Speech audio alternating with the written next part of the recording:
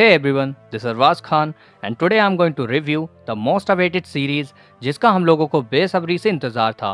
वो finally release हो चुकी है यानी आश्रम सीज़न टू या आप लोग कह सकते हैं Aashram part two so guys review जो है वो आप लोग पूरा देखें ताकि इंपॉर्टेंट पार्ट जो है रिव्यू का वो आप लोग मिस ना कर सकें। सो गाइज़ रिव्यू स्टार्ट करने से पहले आप सबको बताना चाहूँगा कि चैनल पर नए हैं सो सब्सक्राइब करना ना भूलें। और इसी के साथ स्टार्ट कर लेते हैं video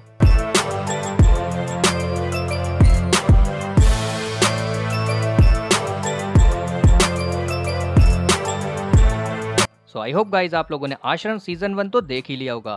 सो so, जिन लोगों ने अब तक नहीं देखा उन लोगों को मैं शॉर्ट ब्रीफ देना चाहूँगा। सो so, सीज़न वन में आप लोगों ने देखा कैसे बाबा अपने एम्पायर और फॉलोवर्स को बढ़ाता है और किस तरह वो लोगों के साथ खिलवाड़ करता है जबकि लोग उसको सच में मानते हैं और उसमें बिलीव रखते हैं। इसके अलावा जहाँ सीरीज़ में कुछ ऐसे भी कैरेक्टर्स हैं जैसे पम्मी और सत्ती जो बाबा के भक्त हैं और कुछ ऐसे भी लोग हैं जो बाबा की हकीकत भी जानते हैं। जैसे कि ये ऐसा उजागर सिंह, बबीता और भी कई लोग। सो अब बात कर लेते हैं सीज़न टू के बारे में। और सीरीज़ की कास्ट के बारे में अगर बात की जाए तो कास्ट जो है, वो सेम ही। है सो वीडियो को ज़्यादा लॉन्ग न करते हुए अब सीधा बात कर लेते हैं सीज़न टू की कहानी के बारे में।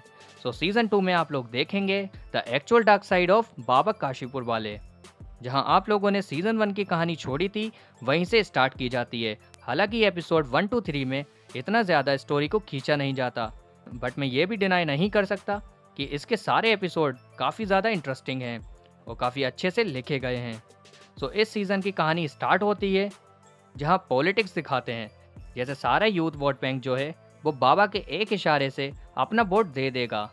और बाबा चाहे तो किसी को भी सीएम बना सकता है। और वहीं दूसरी ओर, कविता जो है, वो पम्मी को वॉर्न करती है बाबा के गलत इरादों के बारे में। बट पम्मी जो है, वो इतनी बड़ी भक्त है कि वो उसकी बात का यकीन नहीं करती और वो कविता को ही उल्टा सुना देती है। और वहीं ही उजागर सिंह अपना हुलिया बदल कर इन्वेस्टिगेशन में लगे हुए हैं।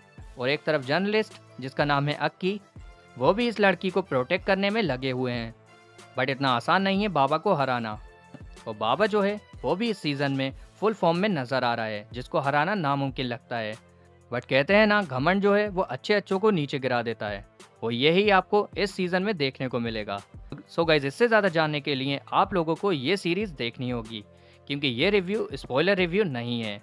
और अगर बात की जाए इसके स्क्रीन प्ले की सो पर्सनली मुझे जो है, इसका स्क्रीन प्ले बहुत ही ज़्यादा इंटरेस्टिंग लगा और एंगेजिंग और आप लोग कह सकते हैं, सब कुछ तो इसी सीज़न में दिखाया गया है।